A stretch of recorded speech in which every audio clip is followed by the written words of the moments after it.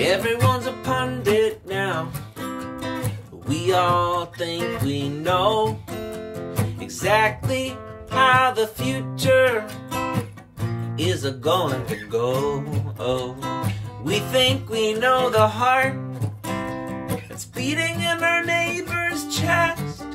But the truth of the matter is we've never known our neighbors less.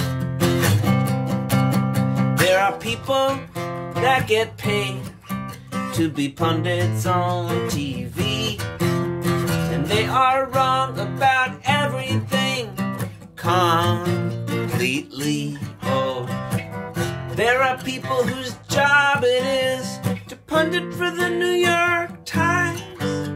They couldn't be right about anything if it meant their lives. So who do you think you are? Stop prognosticating. No 12 dimensional chess. There's a world that needs saving right now. Right now.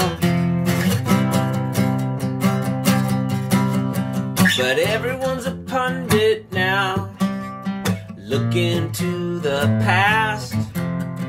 Time moves in one direction, consequences collide and crash. Oh, if you're looking for some comfort, some kind of normalcy, God or whoever is laughing at you just like they're laughing at me.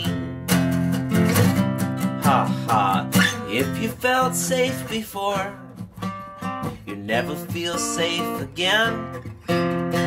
Always been an illusion. You just didn't know any better then. Oh, the best we can do is help each other and be there when the tide starts to rise in the blackest night in the fight for our lives.